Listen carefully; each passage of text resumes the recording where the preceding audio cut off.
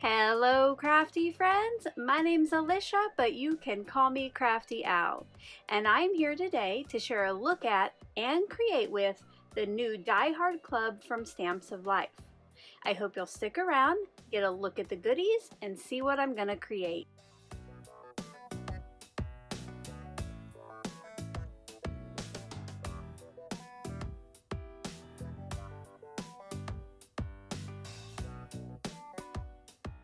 Thank you so much for stopping by today.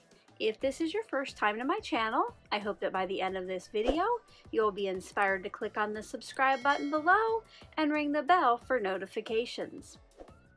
If you're already a subscriber and regular viewer, welcome back. I'm so glad that you're here again. Recently, I had Stamps of Life reach out and see if I would like to work with one of their club kits. So I went onto their site, checked out all four of their clubs, and decided to give the Die Hard Club a try. Now later on in the video, I'll tell you all about all four clubs, but the Die Hard Club is a monthly club where you get a stamp set with coordinating dies.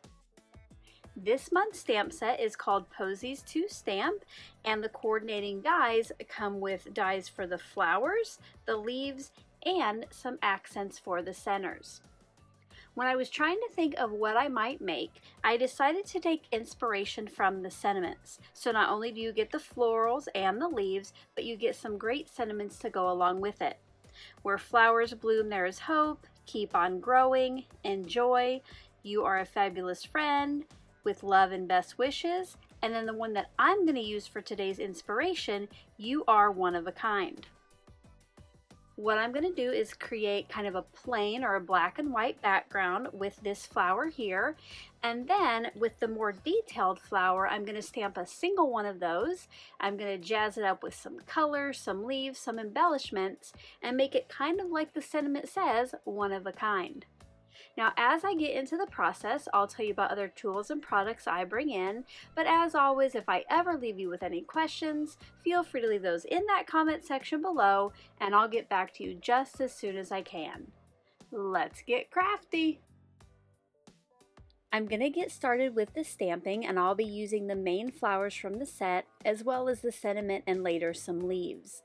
I will be free range stamping, so I got out my stamp block, memento ink, and a piece of white cardstock that is four and a quarter by five and a half. Now here is an item they sent me, the Stamper Secret Weapon, and you know that if you've watched me before, I do have a larger pad, but I just thought this little cute one was so fun, and it perfectly fits the A2 card. Now one thing I do want to point out, and I'll talk about later, is this has one price, but if you become a club member, you get 15% off all items on their website. I'm going to get started by stamping the more plain of the two large posies for the background. This one is basically just an outline, no decoration in the center.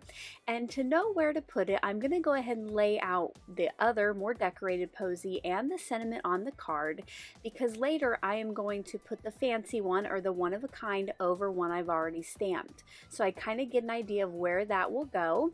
And then once I've figured it out, I am going to remove the oils from the stamp before I ink it it up because there are some manufacturing oils on there.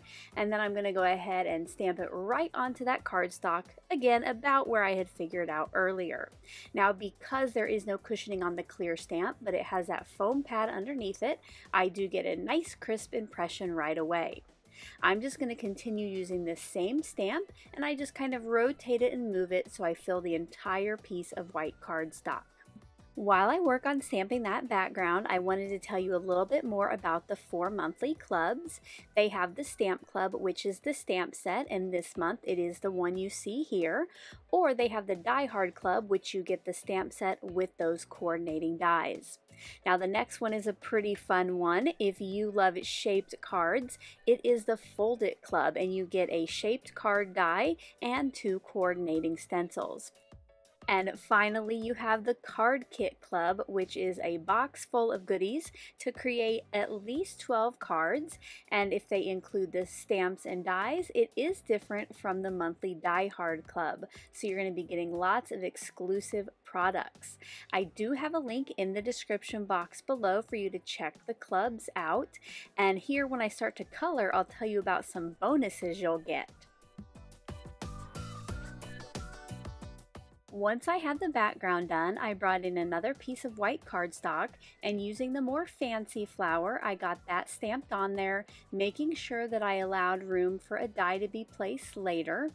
And I also stamped the sentiment on there and I moved it just so there was some extra space on the right because I knew that I would want a little kind of banner or a little flag that would go under the flower and the sentiment would stick out.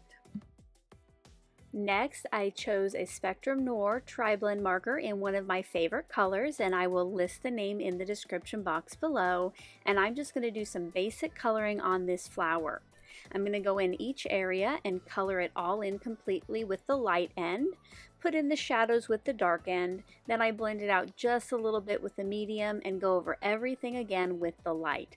Again, I just do some clean and simple coloring. Now, while you watch me do some of that, I wanted to tell you about the bonuses that I spoke about earlier.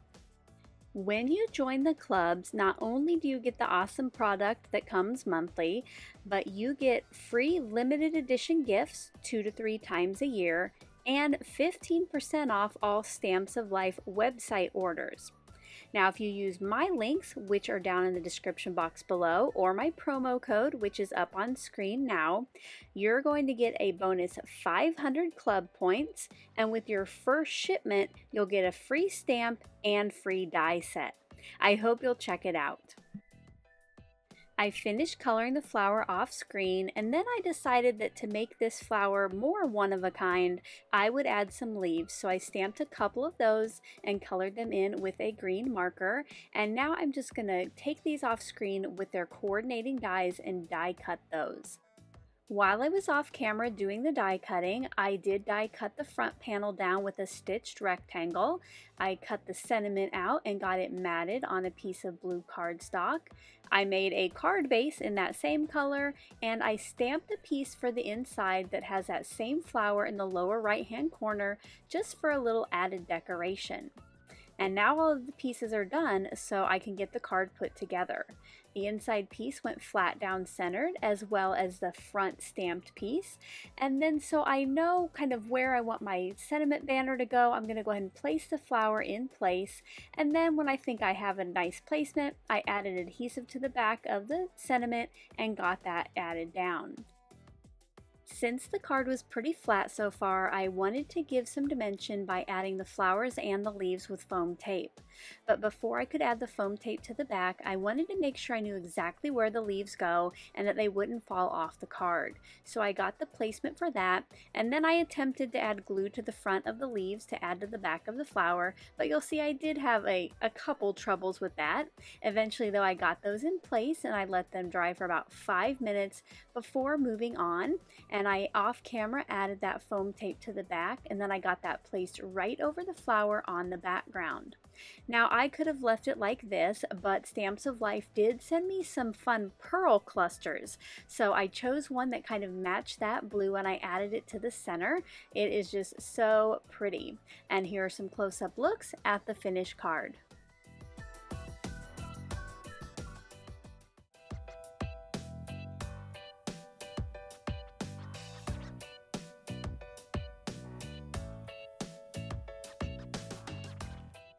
I hope you enjoyed seeing how I use the brand new Stamps of Life Die Hard Club goodies to create this card today.